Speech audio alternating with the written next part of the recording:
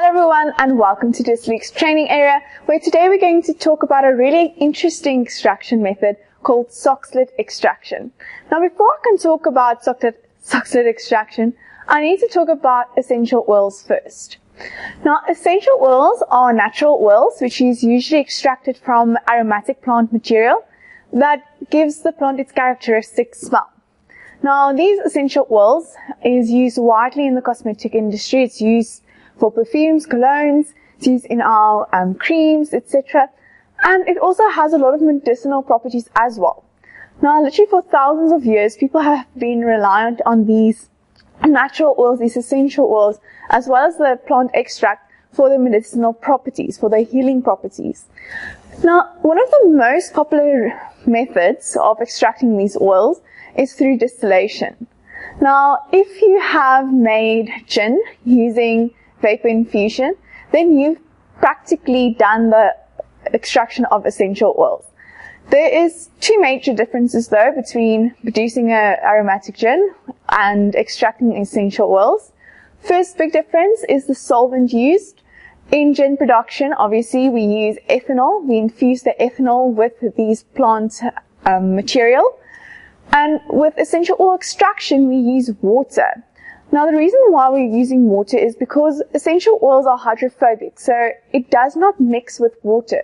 So it forms a clear layer on top of the water layer, which means it's easily extractable. We can just take the essential oil layer, layer off of the solvent, the water layer.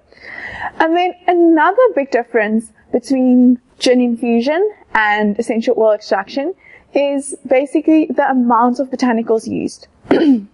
Now, if you've made gin and you might have used too much botanicals, you might also notice that if you add water, that it becomes cloudy, it becomes white. Those are the essential oils dropping out of suspension, becoming visible to the eye. Now, we don't generally want that in a gin. In essential oil extraction, we want those oils. We really want to get as much of these oils out of the plant material as possible. So with essential oil extraction, we're going to use as much plant material as we possibly can to get the best or the, um, the best yield from that. But there's one problem. Not all plant material can be extracted via distillation, or they can, but it's, it's not the most efficient way of extracting them. Now you get these hard to extract plant material, and these includes a lot of your seeds, um, some of your, your flowers, some of your barks, and your gums, that distillation just don't work as well. Now there are other extraction methods that we use to, to extract these essential oils or these um, components of the plant material.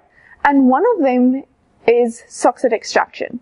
Now Soxhlet extraction is a type of exhaustive extraction method where we can literally extract every single last bit of oil or the components inside that plant material. And it's also a continuous method uh, or continuous extraction method so we can literally run this extraction process for hours or days or weeks. So I'm going to show you how Soxhlet actually works. So before we can do that, let's quickly check all the equipment we need in order to do this practical. So the first thing you need to do this practical is a heat source. So today I'm going to be using my gas burner. The reason why I'm using my gas burner is because you can fine tune the, fine tune the heat addition really, really exact. Um, if you're using an induction plate, and you'll notice that, or maybe you'll notice that this is the boiler of the 13 liter round still, and this can work on induction.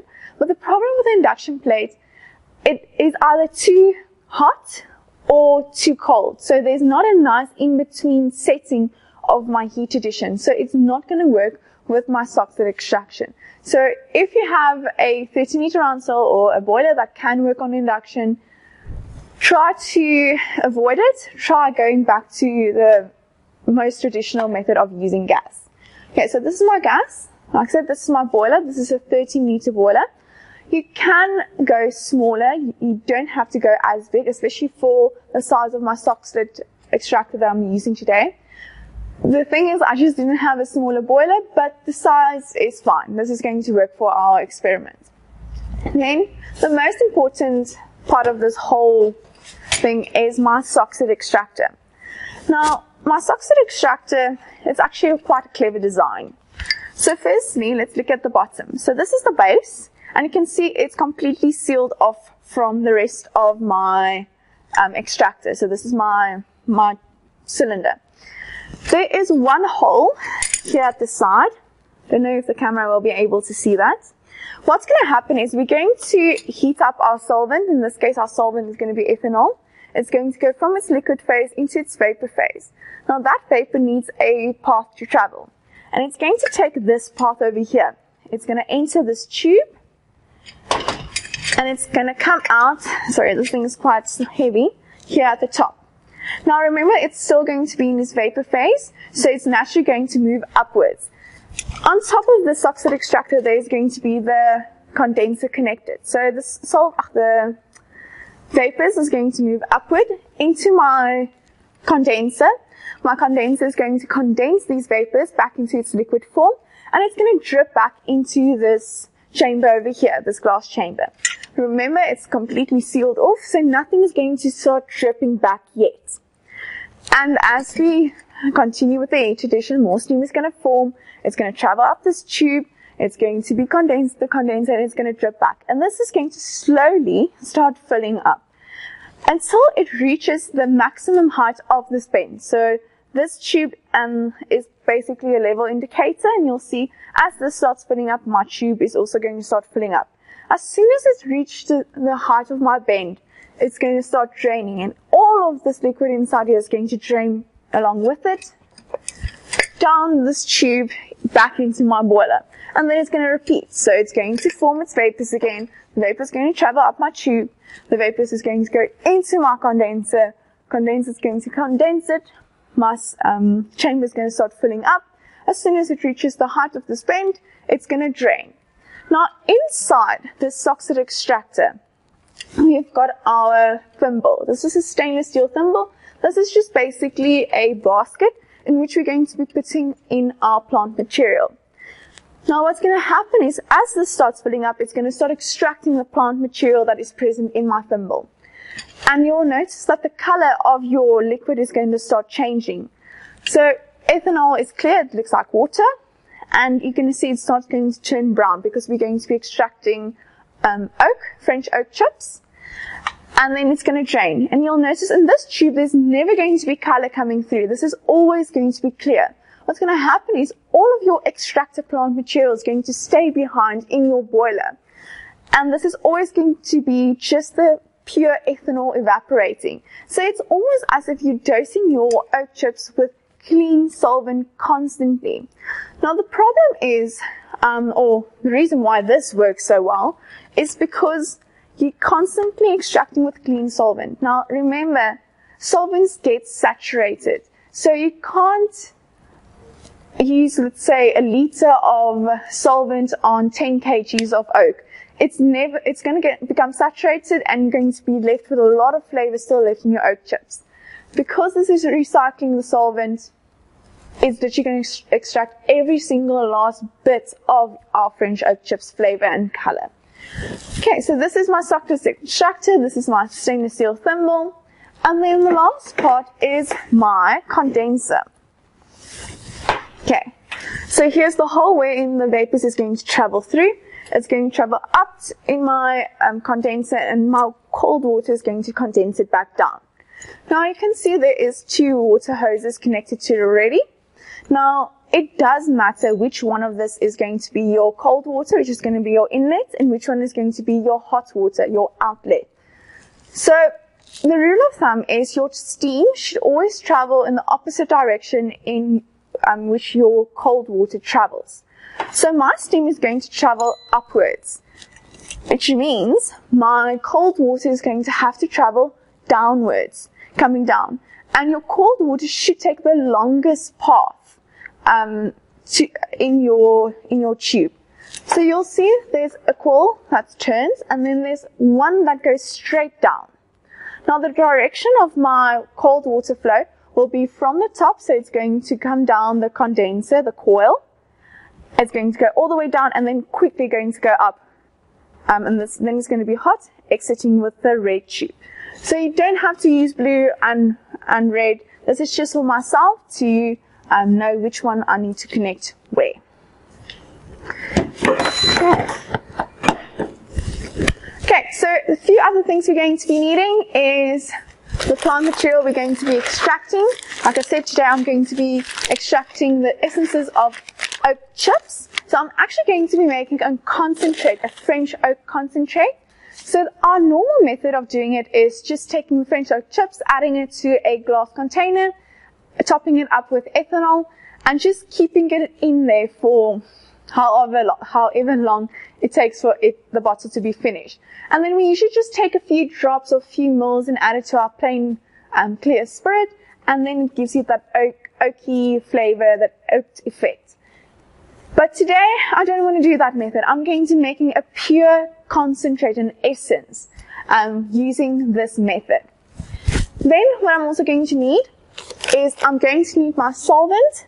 Today I'm using ethanol. This is pure ethanol that we've just extracted, distilled um, a sugar wash with. So that's about 94% in strength. The reason why I'm using um, ethanol made from sugar wash is because I want to consume it. I want to be able to put it in my spirit and not be harmful. You don't always use ethanol as a solvent in this method. Sometimes you use other solvents as well, like um, methanol. You can use um, hexane, etc. But these solvents are very, very dangerous. So for that reason, I'm just going to be using potable ethanol. I'm also going to be needing a scissors. Um, I've already adjusted my tube lengths, but I'm just going to explain to you how to do that yourself. I'll talk about that just now. A beaker, because I'm going to be measuring out my solvent. And then, which is really nice, it's just some hose clamps. I just used it to secure my hoses, just to prevent it from leaking anywhere. Okay guys, so now it's time to actually run our Soxhlet extractor. Okay so first things first, um, I need to make sure my gas is turned on. I've got my gas connected, yes. Okay. So then, uh, make sure your boiler is absolutely clean. You're not going to fill this up right now. So you're first going to set up your Soxhlet and then you're going to add your solvent. So make sure this is on your gas burner. Then just need some clamps and seals. Okay, and then I'm just going to put on my Soxhlet extractor.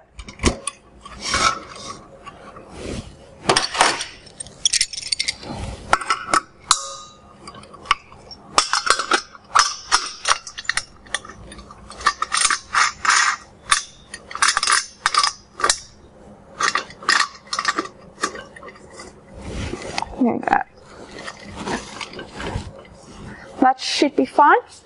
Okay, so the next thing I'm going to do is I'm going to adjust the length of my um, these tubes. So firstly, the one thing that you need to look at is the height of this bend. Now I've already adjusted it to a certain length, but if you get yours, you might notice that your bend actually ends around here. And that's way too, too long. These tubes are way too long. Um, so you need to cut it. Now, the height of this bend, the, the top of this bend will determine at which level our solvent will drain. You don't want it to end here, otherwise it's going to start draining as soon as it hits this level. You don't want it to drain there, otherwise you're not going to see if there's any problems preventing it from draining. So the ideal place for it to drain is somewhere where you can still see the top part um, of your solvent layer. So that it doesn't go into the stainless steel part. So this is actually fine, but I'm just going to shorten it a little bit. For that I'm going to need my screwdriver to loosen up these hose clamps.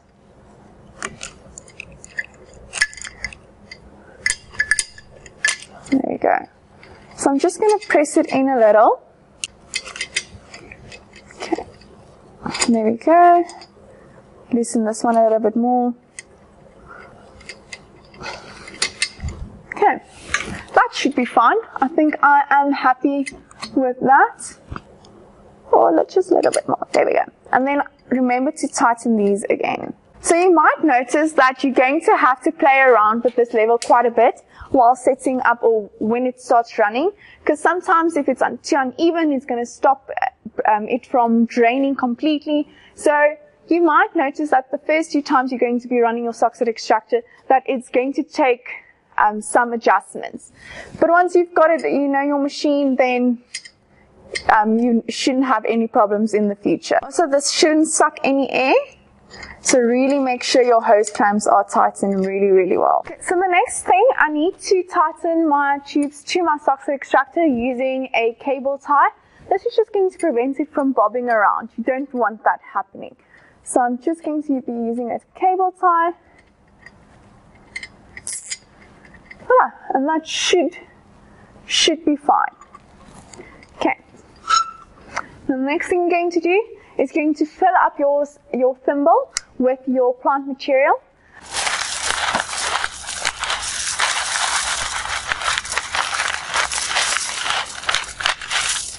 There you go, that's one.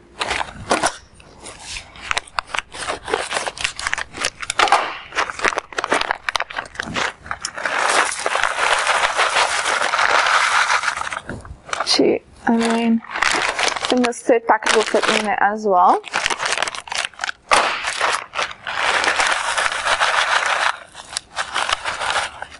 Okay, got a little bit left. So I'm just going to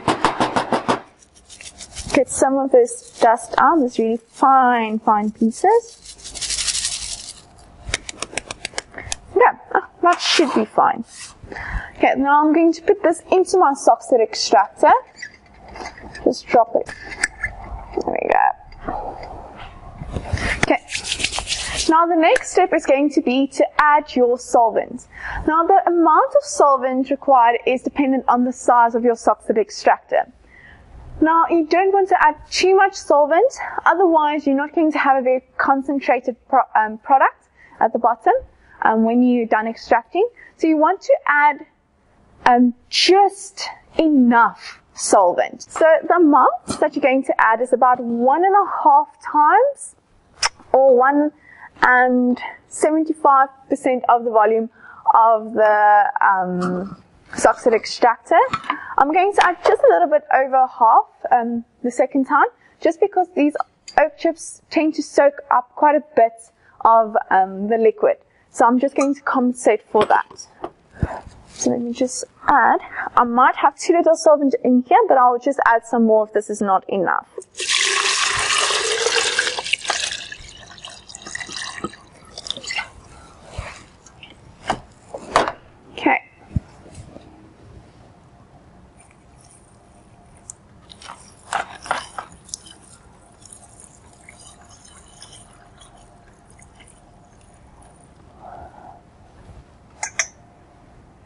There we go.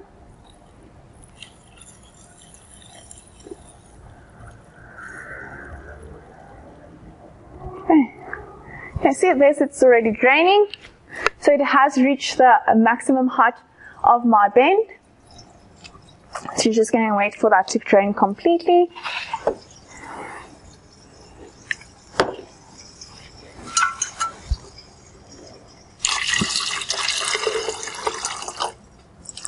Okay, I might need to get some more solvent. Okay guys, so now I've filled up it um, halfway again for the second time. So this will be enough solvent to prevent it from actually boiling dry when it's at its maximum um, volume.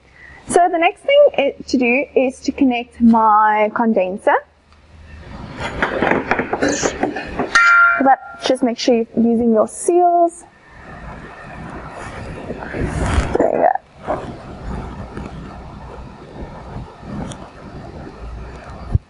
Okay. Remember you are working with flammable solvents at the moment, so you want to make sure that there are no leakages of your solvent. So make sure you connect everything nice and tight using your seals.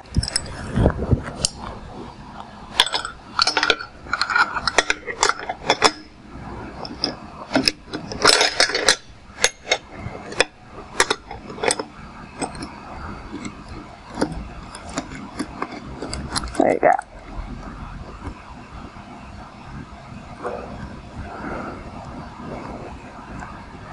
Okay, now this is connected. So I'm going to start um, the put on the heat now, so that this can start warming up. I'm not going to put on the water just yet. Reason being is I'm not circulating my water my water source is directly from the tap and unfortunately it's going down the drain. So I don't want to be wasting unnecessary water, so I'm going to only start turning it on once the vapors reach this tube over here. Now, um, the rate, the flow rate of your water. I'm going to use the slowest flow rate possible to, um, but preventing that any of my vapors escape from the top of my condenser. There is an opening at the top of my condenser, and if you see any steam coming out of there, that means either your heat addition is too much, so you need to reduce your heat, or you need to increase the flow rate of your cold water. So you're really going to start playing around with this until you're at the perfect um, ratio of cold water and heat addition. So I'm going to go ahead and do that once this starts heating, or the once the vapor starts reaching this tube over here, I'm going to start filming again and then we're going to go from there. So as you can see, the vapors is already starting to form. It's going, it's filling up this tube and these vapors are now traveling into my condenser. It's been condensed. I can already see some drip back happening over here and it's filling up my chamber, my glass chamber. Now be careful, it's going to become hot, so try not to touch touch it and prevent yourself from burning. And like I said, we are working with extremely flammable solvent. So you really want to make sure that there's no leaks. And remember to check at the top of your condenser that there's no steam coming out. Now, you need to take care. The rate of heat addition also plays a, uh, plays a part in how well this draining functions. If your heat addition is too much, you're going to notice that this level is going to go past the height of that pen and it's not going to drain. That means you are distilling um, too fast. So then you're just going to reduce your heat. And that's why I said gas works much better than a induction stove because you ca- cannot fine tune your induction stove as well as you can do with your gas. So you'll notice that there's already some color being extracted. So this is going to happen every time when there's new solvent coming in. And in your boiler, you're going to notice that's going to become really, really dark. It's going to become really, really concentrated. So this is the nice thing about using this method. It's nice to make your own extracts, um, your own concentrates. Let's say you have a really, really nice gin recipe, but you don't have the time to infuse all of your gin botanicals every single time you can use your Soxhlet extraction. Make one concentrate and then just add it to your neutral spirit and then voila, you've got a gin straight away. So this is nice about this method, it's not just for essential oil extraction. Now, one of the problems with this method compared to distillation is like I said, essential oils are hydrophobic, which means they naturally separate from your water layer. With ethanol, it dissolves into your solvent. So it's, there's no two clear layers. So what you're going to have to do when using this method or when using ethanol as a solvent is you're going to have to do an additional um, distillation on this to separate your solvent from your oils. That's just the, the schlep of using Soxhlet. But for making concentrates, for making, let's say, oak extracts, this actually works really great. So I can see it's, a, it's very, very close to the top. I'm just going to reduce my heat slightly because um, I've got a feeling that this is way too hot and it's not going to drain. So it should start draining within the next minute or so. Like I said, your first two times that using your Soxhlet, it's going to take some adjustments. You might need to adjust the height of your tubes over here. Um, you might need to play around with your water or with your heat addition. But once you've mastered your machine, your extraction equipment. This is a really, really nice method to use. And there we go, it's starting to drain.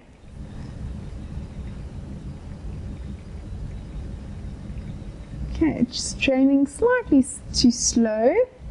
So let's just reduce my heat.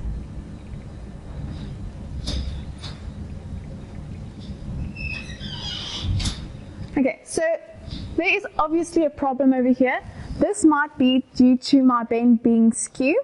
So I might need to make this tube either longer or this one slightly shorter. So um, what I'm going to do is I'm going to quickly do that. I'm going to just reduce my heat so that all of my vapors condenses. Um, and then I'm going to try to make this drain. And when everything is drained, I'm quickly going to adjust my tube. So I have adjusted the length of my tube, so I'm hoping that it's going to drain now. But like I said, you really going to, the first few times you're going to be operating this, there's going to be some adjustments you're going to make, but until you've got that perfect, then trust me, it's going to be really, really easy. So it is almost at the top of my bend, so it should drop, start draining very, very soon. It seems like it wants to go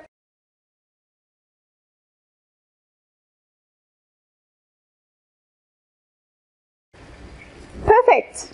So that's exactly what you want.